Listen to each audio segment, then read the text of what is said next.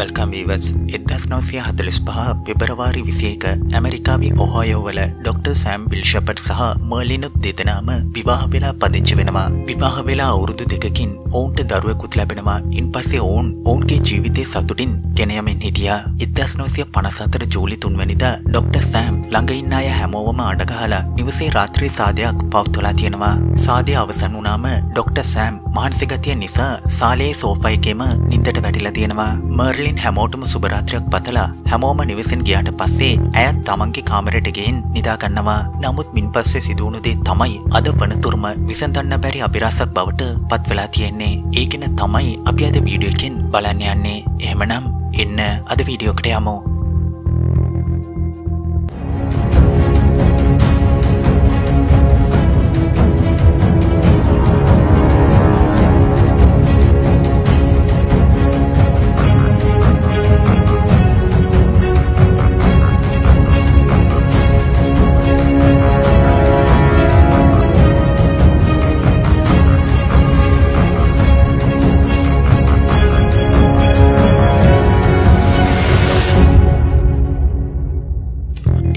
නවසිය පනසතර ජූලි හතරවනිද උදෑසන පායි හතලියට ඩොක්ට සෑම්ගෙන් ඒ ප්‍රදේශය මේර් කෙනෙක් වගේම සෑම්ගේ හොඳ මිත්‍රයෙක් වන ස්පැන්සර්ට ඇමතුමක් ලැබෙනවා. ඒ ඇමතුමේ ඩොක්ට සෑම් කියපුතේ තමයි මයිගෝඩ් ස්පැන්ස ඉක්මනට මෙහෙට එන්න. ඔවුන් මගේ බිරිඳව ඝාතනය කරලා කියලා ඕ කියලා තියෙනවා. ස්පෙන්සරුත් ඕගේ බිරිඳත් වහාම ඩොක්ට සෑම්ගේ නිවසට එනවා. ඔවුන් දැකපුතේ තමයි ඩොක්ට සෑම් ෂර්ට් එකක් නැතුව සෝෆෑක ඉඳගෙන කම්පනයෙන් අත ඔලුව උඩ තියාගෙන ඉන්න එක. ඉන් පස්සේ වහාම පොලිසියට මේගෙන දැනුම් දෙනවා පොලිසියත් හයට පමණ එතනට පැමිණෙනවා. පොලිස් වාර්තාවලට අනුව ඩොක්ට සෑම්ගේ බිරිඳ මර්ලින්ගේ මලසිරුර උඩු අතට තිබුණ කියලත් ඇය කාමරේ දොරදිහා බලාගෙන සිටින අයුරින් හිටිය කියලත් ඇයගේ මූුණ පුරාම දරුණු කැපුන්තුවාල විසිහතක් පමණ තිබුණ කියලත් සඳහන් වුණා. ඒවගේම ඇඳේ ඇතිරිල්ල ලේවලින් තැත්වෙලා තිබුණා. විත්තිවලත් ලේ තැවරිලා තිබුණා. මරණ පරීක්ෂණයේදී මර්ලින් පාන්දර හතරයි තියට පමණ මරණයට පත්වනා කියලා සඳහන් වුණා. දුක්බරමදේ මොකක්ද කිවොත් ඇය ඝාතනයට ලක්වෙනකොට ඇය මාස හතරක ගැබිඩි මවක් ඩොක්ට සෑම්ගෙන් ප්‍රශ්න කරනකොට ඕ කියපුදේ තමයි ඔහු නිදාගෙන ඉන්නකොට ඕගේ බිරිඳ ඕගේ නම කියලා කෑගැහුව කියලත් වහාම දුවගෙන ගිහින්න ඇගේ කාමරේ බලනකොට සුදුපාට රුවක් ඇව ඇටෙක් කරමින් හිටිය කියලත් ඒක තමන් නතර කරන්න උත්සා කරනකොට ඕගේ බෙල්ලට පාරක් වැදිලා සී නැතුුණා කියලත් නැවත හැරිලා බලන්නකොට මර්ලින් මරණයට පත් වෙලා හිටිය. ඒ සුදුපාට රුව අතුරුදහම් වෙලා තිබුණා. ඉන් පස්සේ වහාම සෑම් ඕගේ පුතාගේ කාමරයට දුවල යනවා. ඕගේ පුතා නිදාගනිමින් ඉඳලා තියෙනවා. සෑම් නැවත වහාම පහත මාලයට දුවලෙනවා ඒ සුදුපාට රුව අල්ලගන්න ඒ සුදුපාට රුව පිටපස දොරින් පලා යන එක ඔහු දකිනවා. ඩොක්ට සෑමුත් ඒ පිටපසින් දුවල කියා කියලා ඕ කියලා තියෙනවා. එහෙම ලෝපතිබින් යනකොට කකුල පැටලිලා වැටිලා සී නැති වෙලා තියෙනවා. ඉන් පස්සේ ඇස්සරල බලනකොට ඕගේ අත්තොරලෝසුව මුද්ද සහ නිවසේ යතුර නැති වෙලා තිබුණ කියලත් ඕ කියලා තියෙනවා.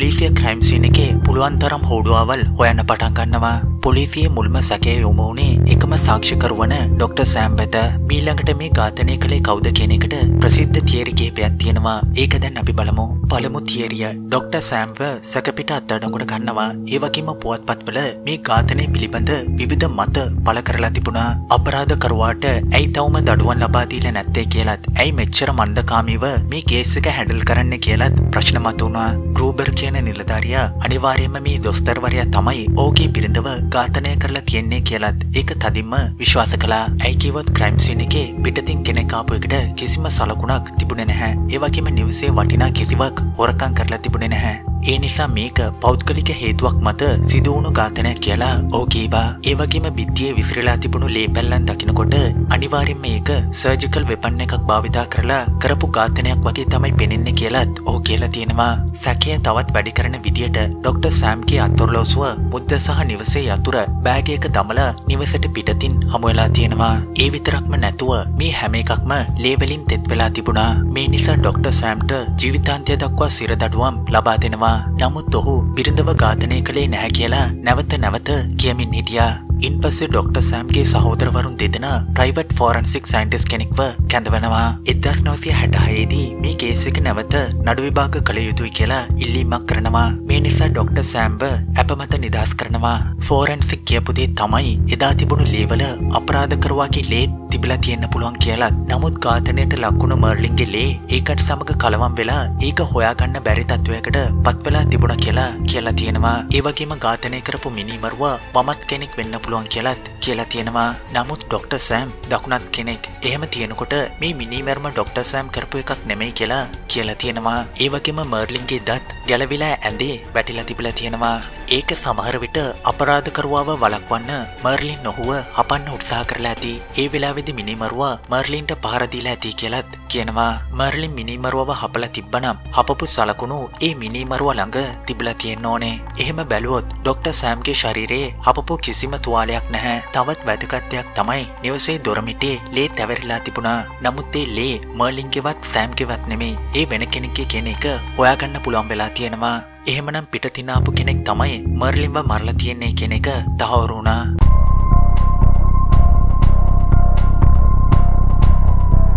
දෙවනි තීරිය මේ තීරයට අනුව ඩොක්ටර් සෑම් කියපු හැම එකක්ම ඇත්තක් වෙන්න පුළුවන්. ඔහු දැකපු සුදුපාට රුව ඕගේ නිවස් අසල්වාසින්ගෙන් ප්‍රශ්න කරනකොට ඔවුනුත් පාන්දර තුනයි තිහත් හතරයි තිහත් අතර ඒ වගේ කෙනෙක්ව දැක්ක කියලා කට උත්තර දීලා තියෙනවා. බලන්න කොයි වගේද හිටිය කියලා අහපු එකට ගොඩක් සුදුමැලිව වයසෙ තිහත් හතලයත් අතර ඇති කියලා කියලා තියෙනවා. ඒ විතරක්ම නැතුව ඩොක්ටර් සෑම්ගේ වෛද්‍ය පරීක්ෂණයේදී ඕගේ බෙල්ලේ අස්ති බිඳීමක් ඇති වෙලා තිබුණා. ඩොක්ටර් සෑම් කලින් කීව පරිදි ඕගේ බෙල්ලට පහරක් වැදුන කියලා කියපු එක ඇත්තක් කියලා මේකෙන් ඔප්පු වෙනවා.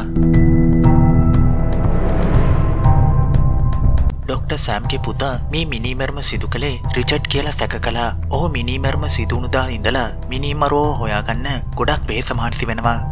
ඩොක්ටර් සෑම්ගේ පුතා රිචඩ් තමයි මිනිමරුව කියලා කියන්න හේතුව තමයි ඔවුන්ගේ නිවසේ හැමදේම රිචඩ්ට දන්නව කියලත් ඒ විතරක්ම නැතුව මර්ලින්ගේ මුදු දෙකක් රිචඩ් ළඟ තිබලා තියෙනවා. නමුත් පොලිග්‍රෆික් ටෙස්ට් එකෙන් රිචඩ් පාස් වෙලා තියෙනවා. නමුත් එදදාස් නවසය අසූ නමේදී වෙනත් ඝාතනයකට වරදකරු හැටියට රිචඩ් අත්තඩංගොට පත් වෙනවා. ඉන් පස්සේ අවුරුදු කීපයකට පස්සේ අසනීපකින් මරණාසන්න මොහොතෙදී රිචඩ් තමන් තමයි මර්ලින්ව මැරුව කියලා කියලා තියෙනවා.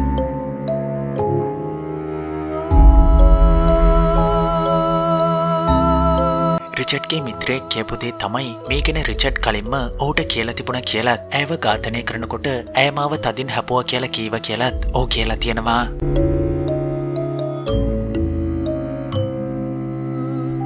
තුන්වැනි තීරිය මේ තීරයට අනුව මේ ඝාතනය අනිවාර්යෙන්ම කාන්තාවක් විසින් තමයි සිදු කරලා තියෙන්න ඕනේ. ඒ කාන්තාව වෙන කවුරුවත් නෙමෙයි මේර්ගේ බිරිඳ කියලත් කියනවා.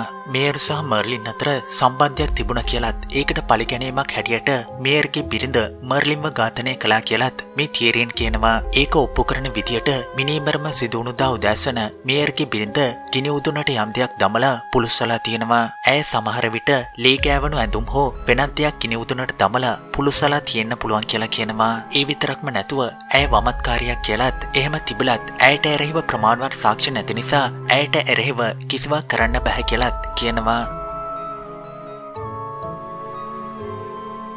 මේ තමයි අවසාන තීරිය මේ තීරයට අනුව මේ මිනිමර්ම මේජර් ජේම්ස් තමයි සිදු කරලා තියෙන්න ඕනි කියලා FBI ඒජන්ට් කෙනෙක් කියනවා. මිනිමර්ම සිදුවුණු විලාශය දිහා බලනකොට මේක අනිවාර්යෙන්ම මේජර් ජේම්ස් තමයි සිදු කරලා තියෙන්න ඕනි කියලා ඔහු විශ්වාස කළා. ඒකට හේතුව තමයි මේ වගේ නොයෙක් ඝාතන ඔහු සිදු කරලා තියෙනවා කියලා රාත්‍රී කාලයේදී නිවෙස්වලට රින් කළා. නිදාගෙන ඉන්න අයව දරුණු විදියට මරා දමනවා කියලත් ඒ වගේම මර්ලින් හපපු සලකුණු මේජර් ජේම්ස්ගෙන් හමුුණ එක සාක්ෂයක් කියලත් කියලා තියෙනවා. නමුත් ප්‍රමාණවත් සාක්ෂ නැති නිසා ඔහුවත් මේ නඩුවෙන් නිදස් කරනවා. ඩොක්ටර් සෑම් ඕගේ හතලිසය වන වියේදී ලිව ෆෙලියර් එකක් නිසා මරණයට පත්වෙනවා. නමුත් මිනිස්සු අතර ඩොක්ටර් සෑම් තමයි මර්ලින්ව ඝාතනය කළේ කියන සැකය හැමදාමත් තිබුණා.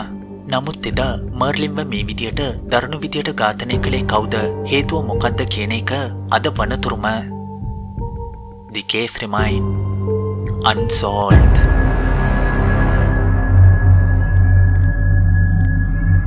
ඔයාලා හිතන පරිදි මේ ඝාතනය කළේ කවුද? ඔයාලගේ තිේරිය පාලෙන් කමෙන්ට් කරන්න. හොඳම තිේරිය අපි ඊළඟ වීඩියෝ එකෙන් පෙන්වනවා. ඒ වගේම මේ වීඩියෝ එකට ලයික් එකක් දීලා අනිත් අය සමගත් ෂෙයා කරන්න. නැවතත් මේ වගේ වීඩියෝ එකකින් හමු වෙන්නම්. සුබ දවසක්.